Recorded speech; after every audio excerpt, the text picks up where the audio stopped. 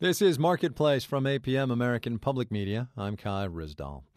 Back in the day, Ford was all about hot rods. Now it's all about souping up its cars with electronic gadgets, stuff like voice operated entertainment systems, like a lot of companies have. Last week, Ford teamed up with Google in a project to analyze your driving habits and help you speed up your commute.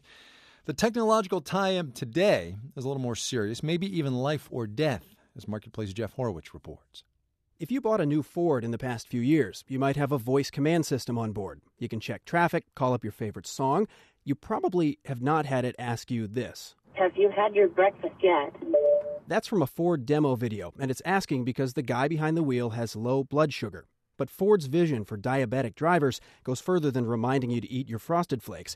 Through a partnership with Medtronic, the medical device maker, drivers could essentially plug their bodies into the car. Here's Medtronic's Brian Henry. So you'd have a sensor which would be sort of in uh, in your midsection, maybe a quarter-sized monitor or a sensor that's on there.